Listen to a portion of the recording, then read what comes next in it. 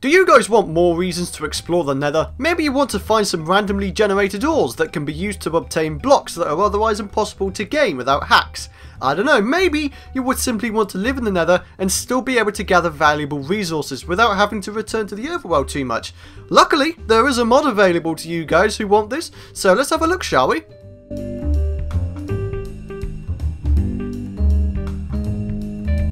Hello everyone, my name is PythonGB and welcome back to another Minecraft mod spotlight. Today we're going to be taking a look at the Nether Ores mod. It's made by a user on Minecraft forums by the name of Power Crystals and this mod is actually very simple, which makes it awesome. And so if we go into first person and enable this, as you can see, we have all of the vanilla ores all in a line. This is the Nether Ores mod. What it essentially does is that it spawns all the vanilla ores in the nether basically its sort of counterpart. So what you're going to want to do is you're going to want to mine these. So I'm just going to go ahead and middle click this so we know what it is. So we've got nether coal ore here.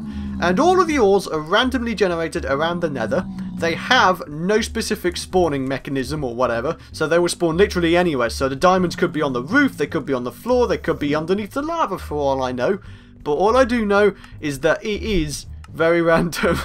Okay, so what you're going to want to do to transfer the nether coal ore into regular coal ore is you're going to want to go to a furnace, which I have right here, and chuck this in here. What this will do is it will make it into the regular coal ore, so basically it makes otherwise unobtainable blocks obtainable. So it's pretty cool. So as you can see, it gives you two coal ores. So if we go ahead, plant them down, you can go ahead, if you have like a fortune pickaxe, you can go ahead and uh, mine these and get your coal, which is pretty damn awesome. Now as you can see, we've got all of the other vanilla ores as well. So you got iron, you have gold, lapis lazuli, redstone, diamond, which is extremely rare to find. With the diamonds, they only spawn like one at a time. They don't actually have like veins in particular. And with emeralds, I've never ever seen one of these naturally generate, so uh, I reckon they are incredibly rare. But as you can see, we actually have one right out here. It's a naturally generated uh, gold ore, which is pretty damn awesome. And if we have a little bit of a look around, you can see down here we've got some uh, we've got some lapis ore, uh, we've got some quartz, which is regular, obviously, and we've got loads of other things going as well. So we've got redstone down here, and it's all pretty damn cool right there. So if we just go ahead, give you another example. So we've got gold ore, Let's go ahead and chuck it in there. Got a lava bucket as a fuel source because it lasts a long time. So yeah, another diamond, emerald, redstone, lapis, and iron. So it's pretty damn cool right there. Okay.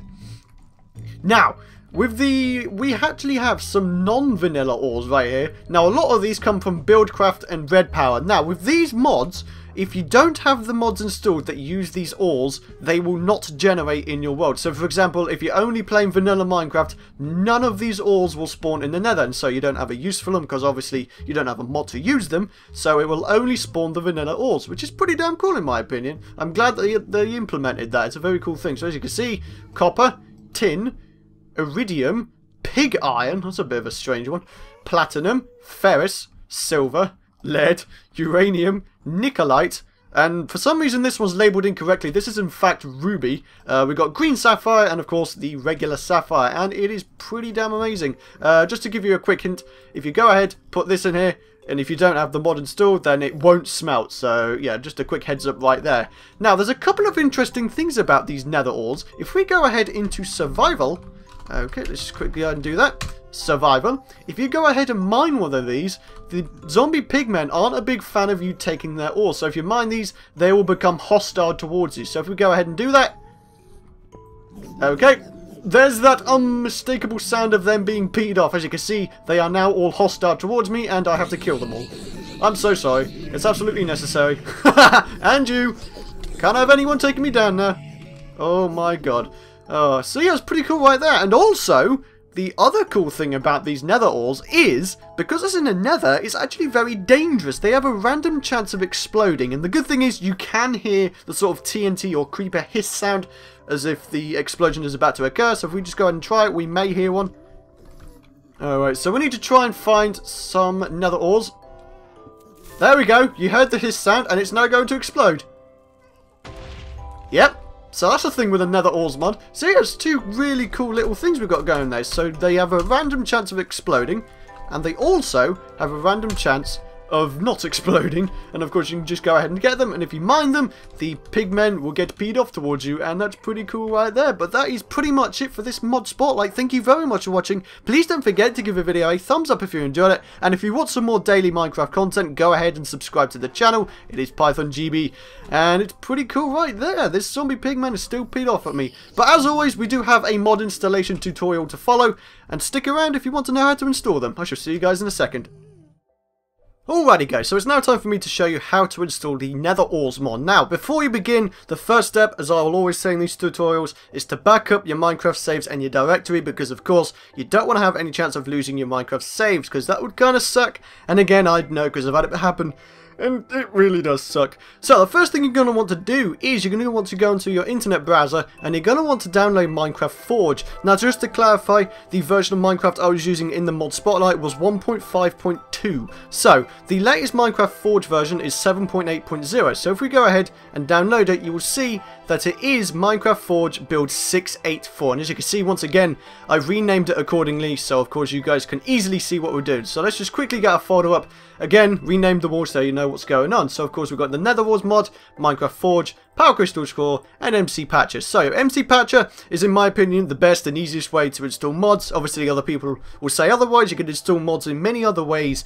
But uh, for this tutorial I'm going to show you how to do it with uh, MC Patcher. So of course, got the MC Patcher page. You're going to want to download it. And once you've done that, put it in the folder or wherever you want to use it. And of course, we have to go into the Power Crystals page where the Nether Ores mod is located. We're going to want to download Power Crystals Core for 1.5.2. Or obviously, if you're using 1.5.1, then of course you can go ahead download the 1.5.1 version. But for again, for the purposes of this tutorial, we're going with 1.5.2. So we've got Power Crystals Core. That is required, otherwise the Nether Ores mod won't work. It's basically like another um, an API or whatever, or like a core mod, which you will need if you want the Nether Ores mod to work. And talking of Nether Ores, if we just go ahead and click on this, as you can see, this is the Nether Ores mod part of the thread and you're going to want to download it for 1.5.1. Now just to clarify again, if you use 1.5.2 this will still work as long as you're using the Power Crystals core for 1.5.2 so you can have either version and a Nether Ores mod will still work. As in, uh, God, it's too hard to explain. Basically, if you have 1.5.2, download the Power Crystals core for 1.5.2. If you have 1.5.1, download Power Crystals core for 1.5.1. It's really easy. It's, just a case of common sense, really. So you got all the mods here, and it's all pretty damn cool. So what you're going to want to do, you're going to want to go ahead and download a fresh copy of Minecraft. If you want to, of course, you can go ahead and just simply add this mod onto your other mods if you so wish. Oh my god, come on Minecraft Launcher. You don't normally freeze on me, god dang it. Okay, so we're going to go ahead and log in. It will download a fresh copy of Minecraft. When it's loaded, you're going to want to close it. So as you can see, it's now downloading everything, which is awesome. And it may take a while, so I'll see you guys in a second. Okay, so as you can see, we've got Minecraft loaded up. We're now going to close it. And we're now going to go into MC Patcher, as you can see. So of course, we're going to open it. And it should come up with this little baby here, which is awesome the center of all mod installations, for me anyway.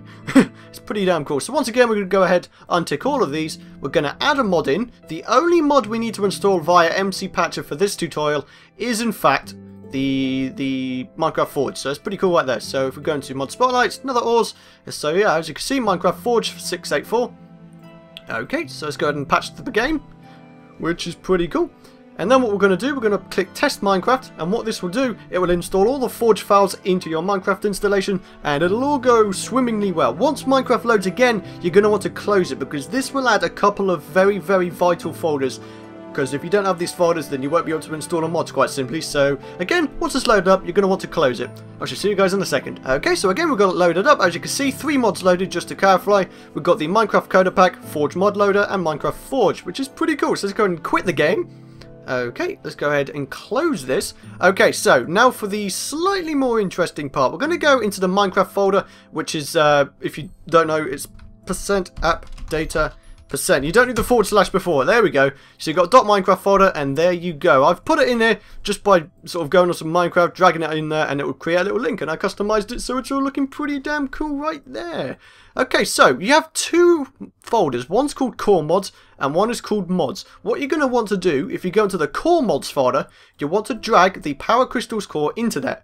Okay, that's pretty cool. And into the mods folder, you're going to want to put the nether ores mod in there. Okay, and finally, this should have worked. So if we go ahead, Let's log in once again. Once it loads, fantastic. Come on, Minecraft launcher. Bloody Java. Such a memory hog. I hate it so much. Okay, so we're going to log into Minecraft, and hopefully this should all work. Okay, so as you can see, five mods loaded. It now says Power Crystals Core and Nether Ores on the bottom of the list. So it's all pretty good, so we know that they're installed. So just to make sure, we're going to go into Creative, create a new world, create another portal, and let's go ahead and see if those Nether Ores are there. Okay, here we go.